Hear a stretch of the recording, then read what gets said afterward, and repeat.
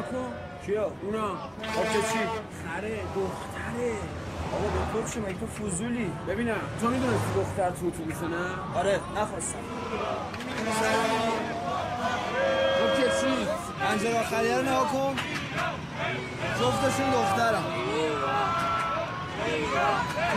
گرفتی ما رو حالا تو اینا حرفه ای هم. بلدن چجوری برن من سوراخ سنبارم بلدم ولی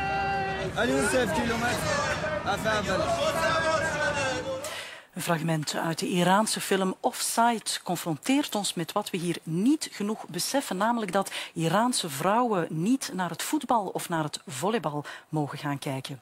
En onze volgende gasten wil dat de wereld dit weet en wil daar ook zelf iets aan veranderen. Dames en heren, Daria Safai.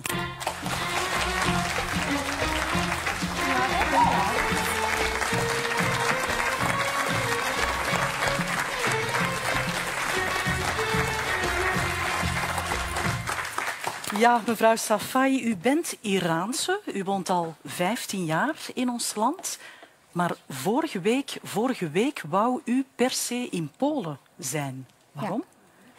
Wel, ik ben gegaan om te protesten tegen uh, de wet dat al twee jaar oud is tegen de voor de verbod van vrouwen en die mogen niet meer naar het stadion gaan. Ja, en dus bent u in Polen ja. naar het WK volley ja. Gegaan ja. om daar ja, te supporteren, maar tegelijkertijd ook te protesteren. Ja, want uh, u ging inderdaad niet zomaar supporteren. Hè. U, we zien de foto daar. U stond daar actie te voeren in het publiek met een spandoek. En wat stond daarop? Wel, hier is dat over Concha Gavami. Want mm. die is een meisje die um, al drie maanden in gevangenis zit. Alleen en alleen omdat ze wou gewoon naar het stadion gaan kijken naar de volleybalmatch. En mm -hmm ook al was dat verboden, is ze gaan gewoon protesteren en zeggen ik wil gewoon binnen het stadion. Ja. En sindsdien hebben ze, hebben ze haar opgepakt. Ze zit in uh, gevangenis al drie maanden. Drie maanden? En sinds Om naar een match te gaan kijken? Ja. En sinds twee weken geleden uh, de familie van Gontje uh, hebben durven uiteindelijk dat, dat bericht uitgeven. Want ja. het is ook typisch in Iran. Ze zeggen altijd tegen familie, um, jullie moeten niet veel negatief propaganda maken, anders, komt zij niet, niet vrij. Ja. En uit angst. Uh, ze hebben gewoon dat niet gezegd. En sinds twee weken geleden uh, weten wij erover. Mm -hmm. En uh, ik ben al verschillende keren naar Italië en naar Polen gegaan voor gewoon die verbod van ingang van de vrouwen naar het stadion gewoon aan ja. de mensen laten horen. Dus dan gaat u eigenlijk naar daar wel uit sympathie, maar vooral dan om actie te voeren? Eigenlijk het is vooral om actie te voeren. Ik hou van mijn nationaal team, ik ga supporteren, maar het is gewoon om te ja. zeggen dat wij vrouw, als vrouw geen recht hebben in Iran. Okay. Professor Torfs, beseft u eigenlijk dat de situatie in Iran op die manier nog was? Wel, het is algemeen bekend dat mm. uh, onder meer in Iran het met vrouwenrechten niet zo goed is gesteld, om mm -hmm. het uh, zacht uit te drukken. Ik vind het ook heel terecht dat daarop gewezen wordt. Alleen hoe ver willen we gaan met onze protesten? Want Iran is nu op bepaalde terreinen weer een, een ja. partner, ook ja. in de strijd tegen Islamic State en zo verder. En dan gaan we toch altijd wel zwichten. Ofwel zijn het economische redenen, ofwel strategische. Terwijl die toch een heel principieel punt is dat uh, mm -hmm. veel aandacht verdient. Ja, meneer Benchika? Ja, ik heb daar uh, niet veel aan toe te voegen. Ik heb uh, heel veel bewondering voor de acties die je voert, want uh, ik denk dat het niet zo gemakkelijk is. Want u hebt um, zelf Tunesische ja, roots, ja, hè? Daar is de situatie heel anders. Wel, Tunesië heeft uh, destijds met uh, Habib Bourguiba een uh, zeer progressieve wetgeving, allee, familierecht doorgevoerd mm -hmm. en, en, mm -hmm. en vrouwenrechten doorgevoerd. En nu is dat ook wel, pas op, het is nu natuurlijk ook wel, het komt in gevaar, hè, in die zin van, er is een conservatieve partij, Ennehda, de renaissance-partij zogezegd, die zegt van, stemt voor ons, dan bent u ja. een goede moslim. En um, dus die, die, die daarvan profiteert, van die polarisering. Ja. Maar... Um, ja, het is, het is, het is, het is zeer moeilijk. Hè. Bedoel, ja, mevrouw Safaye, is, dit is er zeer herkenbaar ja. voor u. Ja, inderdaad. En wat ik ook wou gewoon zeggen, zoals um, hij heeft al gezegd, dat is heel belangrijk, dat de wereld weet, uh, wij moeten niet op uh, Islamitische Republiek van Iran rekenen om de dingen te veranderen. Want op mm -hmm. termijn Ehm, ik zie geen verschil tussen ISIS en de mensen die op mijn land zijn aan het, de, dat mijn land zijn aan het beheren, die zijn gewoon. Dat, dat is een straffe vergelijking.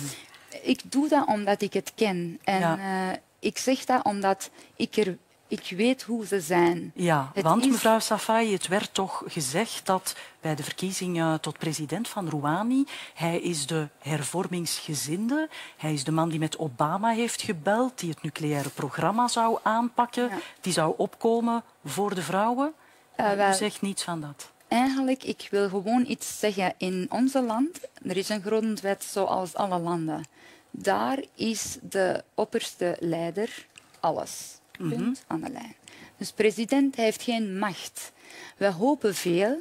Ik zeg niet dat Rouhani niet beter is of slechter is. Ik vergelijk ja, die dus niet. Het zijn eigenlijk de geestelijke leiders die echt de lakens uitdelen. Hij beslist over alles. Hij kan eigenlijk...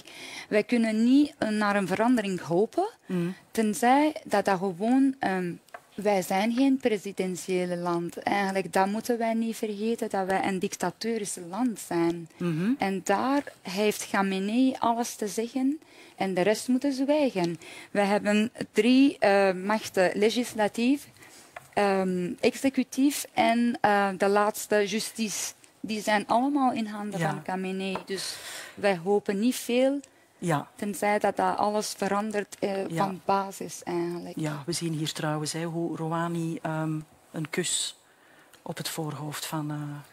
Ja, hij kan en, en, daar zie je bijvoorbeeld ook in Iran hoe de waarde van kunst en cultuur in die zin van dat die eigenlijk een heel sterke oppositie voeren mm. en op een heel subtiele manier eigenlijk oppositie voeren tegen het regime. Dus in die zin kunst en cultuur, allee, mm. uh, je kunt zeggen van wat, dat er, allee, wat je wilt over en, en, en, waarom moet je investeren daarin. Dat is natuurlijk om dat kritisch te zijn binnen ook uh, dat soort systemen ja. uh, aan de kak te stemmen.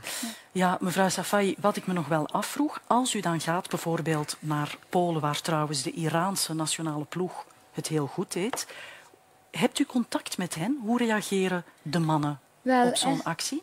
Eigenlijk um, ik heb contact met hen. Ik heb de kans gehad om een paar eh, van die mensen wel buiten te uh, mm. zien.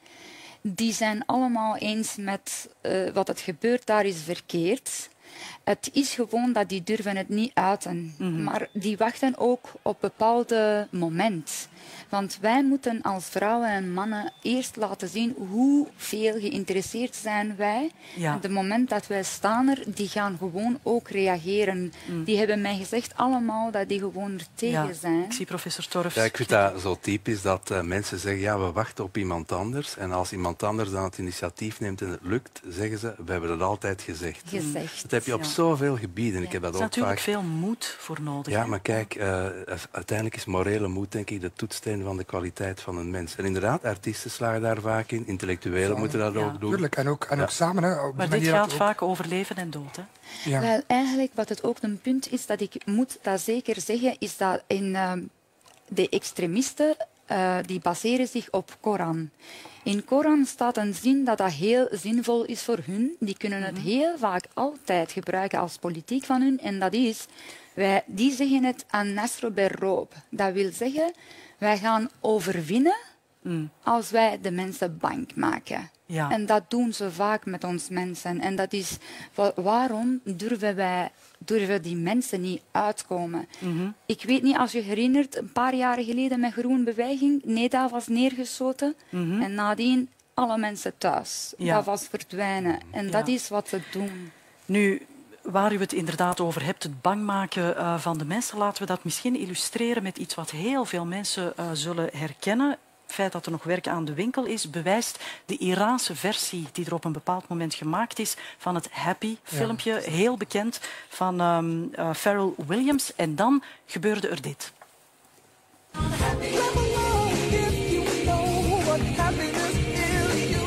This could be any homemade video for the hit Pharrell Williams song Happy But this version landed the young people in it behind bars. Those in the video live in Iran, and the video was posted to YouTube. Among the offenses, the women wear no hijabs.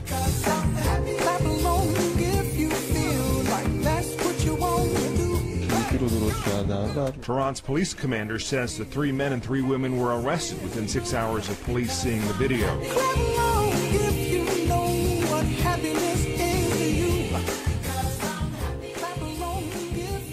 Ja, mevrouw Safai, dit is uh, intimiderend, beangstigend ook, vernederend eigenlijk. Korte metten meteen meegemaakt. Wel, eigenlijk, ik vind dat zo jammer dat dat gewoon gebeurt in ons land. Hebben ze iets abnormaal gedaan in de ogen van andere mensen in de mhm. wereld? Geen hoofddoek gedragen en ze En dat zijn wij eigenlijk. Ja. Wij zijn, het is niet, ik zeg niet iedereen, maar uh, wij moeten dat hoofddoek aan hebben. Terwijl er zijn andere landen die kiezen ervoor. Mm. Bij ons is dat wet. En wij willen dat niet, maar het is een wet in Iran. Zelfs als buitenland, als u daar gaat, moet u die ja. aan. Ik laat jullie even reageren. Ja, wel, maar wat, je eigenlijk duidelijk ziet is, die gasten die proberen eigenlijk uh, op hun manier het systeem of de machtsverhoudingen te dereguleren door iets te doen die officieel niet mag.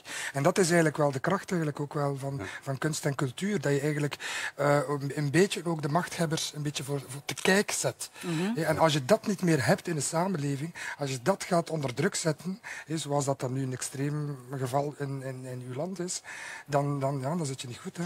Ja. Nu, uh, vrijheid, vrouwelijkheid, het waren mooie beelden in het begin.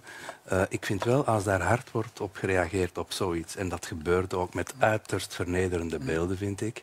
Als iemand hard reageert op vormen van vrijheid, betekent het dat hij zelf niet zo goed in zijn schoenen staat. Mm -hmm. Want als je je sterk voelt en als je eigenlijk alles onder controle hebt, moet je niet op die manier reageren. Dus dat is wel het opgevende. Een harde reactie tegen lichte vormen van frivoliteit zegt eigenlijk veel over de intrinsieke zwakheid van een ja, inderdaad, mevrouw Safai. Ik uh, geloof ook uh, erin en dat is ook, die zijn echt zwak.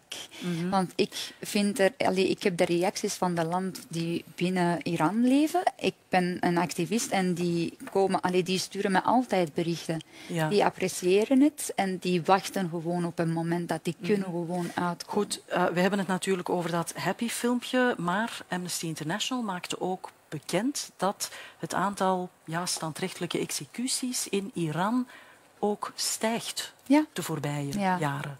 Inderdaad. Dat was echt alarmerend. Hè? Ja, en dat doen ze gewoon in de grote markten van uh, een uh, stad, allez, voor de ogen van iedereen.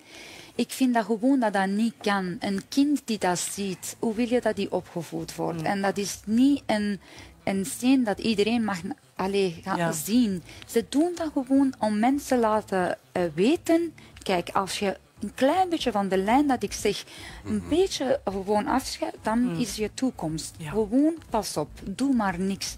Ze doen dat alleen om ons angst uh, meer en meer. Ja, mevrouw Safai, nog om af te ronden. U woont hier nu al 15 jaar, ja. uh, bent naar hier gekomen, gevlucht eigenlijk als uh, student, gestudeerd aan de KU Leuven, geloof ik. Te zien. Tandarts, hè. Nee, het was een VUB. VUB, sorry, sorry. Oei, dat was... Ja, maar, maar, maar, maar de taal de de kerst op de taart was toch bij ons? Ja, je moet altijd goed eindigen. Hè? Ik maar ik wou u nog vragen, hebt u nog contact met uw familie?